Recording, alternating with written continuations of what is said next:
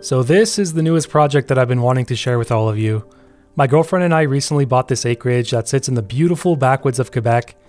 If you're new here, you might be wondering why we bought this property. Well, a little bit about myself I'm a nature enthusiast that loves to film wildlife. Over the past five years, I've been mostly interested in birds, and as I started to learn more and more about them, I also started to develop an appreciation for the habitats they live in.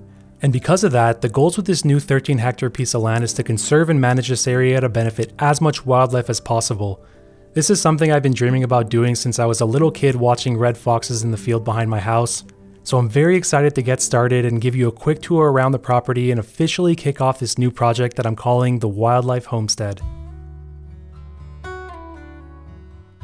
I know the logical thing when starting a tour would be to give you the lay of the land, but I really want to start with our first days and a few wildlife sightings that I've had so far from right inside of the house. So when we arrived our first night here, we got in pretty late and most of our time went towards getting Sparrow set up in her new home. If you haven't watched my last video, Sparrow was a feral cat that we spent two months working with to eventually bring her back with us. It was surprising to see how well she handled the move. She mostly slept on the six hour car ride, and when she got in the house, she just kept purring and sitting next to us. After a couple of days of us rearranging furniture, we let her out of this room to roam the entire house. The previous owners left a bird feeder up, so I decided to put her cat tower right by the window so she could watch the birds. The interesting thing is, we have this female wild turkey that hangs out below the feeder. She goes around foraging, and when she's done, she heads into the cedar shrubs to rest. After watching her a bit, it looks like she has an old foot or leg injury. She can still walk pretty well and she flies perfectly fine, but I think she's just a little too slow to keep up with other turkeys. One morning, I saw her foraging on the road, and while Sparrow and I were watching her, an adult northern goshawk swooped down at the turkey four times and then flew into the nearby trees. I wasn't fast enough to film the encounter, but I did get this phone footage of the goshawk perched in the trees. Honestly, this is some of my best camera work. Those three pixels are just crystal clear goshawk. The whole time this was happening, this chickadee was at the feeder like, don't move a muscle. The goshawk eventually flew away and the turkey just went back to foraging as if nothing happened but it's looking like she'll be a regular at our feeders, so I'm thinking maybe we can find the name for her. There's also a group of ruffed grouse that hang out under our balcony, and they come out every so often to feed on the buds from the apple trees. I've been calling them the grouse gang, we've counted about 8 of them so far, and I'm sure we'll get more as the snow settles in. We also have a pair of Canada jays that visit the feeders. One of the first things I need to do is set up more of these around the property to see what other species are living here. Speaking of the property, I think it's time to show you the area and some of the key features of the land. Since everything is covered in a foot of snow, I'll also add in some clips of when we visited the property earlier this fall. It's hard to beat the colors of autumn in eastern North America, and we're kind of located in the middle of nowhere here. We're surrounded by thousands of acres of forest, which is a great place to see the leaves change and, of course, to observe wildlife. The massive stretch of forest around us is pretty continuous, which means that we do get some of the larger mammals passing through. According to the previous owner, there's fox, coyote, deer, moose, bear, and apparently lynx. Lynx are one of my favorite animals and I've yet to see one, so they're definitely high up on my target species list. Since all of these larger animals have so much land to roam, the sightings could be few and far between, but as we diversify the habitat on the property, that should help increase the amount of wildlife passing through. I've already seen a decent amount of tracks along the gravel road that we have on the property.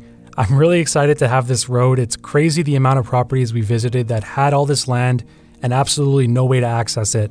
But since we have a gravel road that goes from the front of the land all the way to the back, this means that we can easily access every part of the forest. There's also ditches on the side of the road that funnels the flowing water on the property, and it also creates a nice opening through the trees which allows more light to enter the forest floor.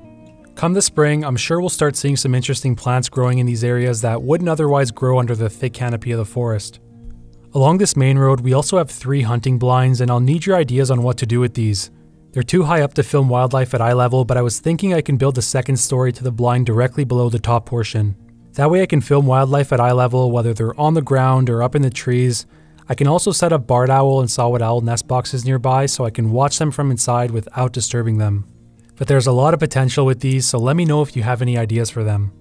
As you continue past these blinds, the road weaves through the forest, which is a younger mixed forest with a few dense stands of conifers, I haven't had too much time to explore these forests yet, but that'll come in future videos. So far from just a few quick walks I've done, I've seen a great horned owl flying through the woods, and I also had a female pine grosbeak land right next to me. Not a bad start at all. As you continue through the forest, the path eventually leads to the first big feature I want to show you, which is very anticlimactic with all the snow, but underneath all of it is a pond. If you've seen my previous series, How Fitting Is It That We Have a Pond? This one is much larger and deeper than the one that I built. I think it's somewhere around 15 feet deep, but one of the goals in the spring will be to explore the pond, sample the water, and see how we can use it. Based off of what the previous owner told me, I do have a few initial ideas. He was saying how he's seen American mink, great blue herons, and a pair of hooded mergansers that show up every spring. So my first idea is to set up a hooded merganser nest box nearby to try to get them to nest at the pond. My second idea is since there's so many fish-eating animals around, why not just stock this pond with minnows and other small fish, maybe even crayfish, and just see what species we can attract. This could be one of the better hotspots on the property. If you were a bird flying over, the pond definitely sticks out through the forest. So I'll need your ideas of what to do here and what you'd like to see at the pond. As we continue past the pond, there's this thinner patch of forest directly behind it. I was thinking this could be a great area to potentially build a wildflower meadow in the future. I'll need to take a better look in the spring, but there isn't many grasslands or fields of flowers around, so setting one up here could be a good way of diversifying the property and attracting more species.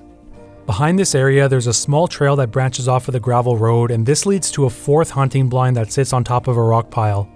I'm excited to sit in this one, it seems like such a peaceful area, but right behind this, the small trail then cuts through a planted pine forest which leads you out to the front of the property. That's where our house and garage is, and they both look out onto a second pond. I can't believe we have two of them, they're both about the same size, but this one was stocked with brook trout. I was going to film outside. Probably heard the wind. We're getting hit with a big windstorm right now, so I'm a lot safer and a lot more comfortable in here. Welcome to the Wildlife Homestead, everybody. This is something that's been in the works for two years. My girlfriend and I have been checking properties on and off, and we finally both decided on one. The past week here has been mostly uneventful. We've just been moving in our stuff and organizing all the things that the previous owners left. They left us absolutely everything, which for this property is a good thing because one, they were really organized, and two, the things they left were actually good. There's a lot of great tools that we can use on the land. We had visited some listings where a big selling point was like, we're going to leave all of our stuff for you, so that should bump up the value. And you take a look around and you're like, I would honestly pay you more to get all this crap out of here. But for this property, it works out really well because, like I said, there's a lot of useful things. Like, look at this. Isn't this just the cutest bear mount you've ever seen? I think it's uh, I think it's just wonderful.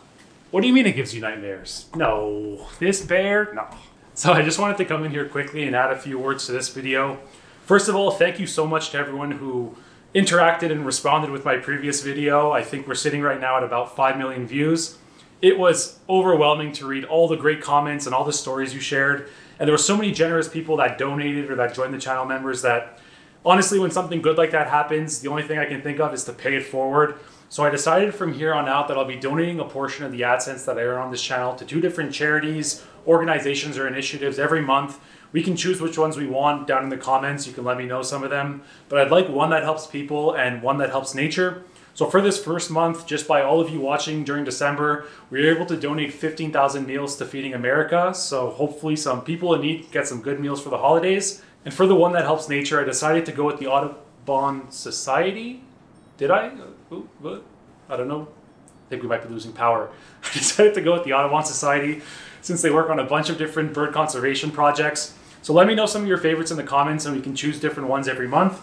I'll also need your input of what you want to see here. There's so many possibilities, but for the first year, I won't go too crazy with big projects. I really want to survey the land, spend my time out there and figure out what's here, what's working and what's not. I'll set up a bunch of trail cameras and stuff too. So a lot of those videos are gonna come in January. So anyways, happy holidays. I'll see you in the new year. And once again, welcome to the Wildlife Homestead.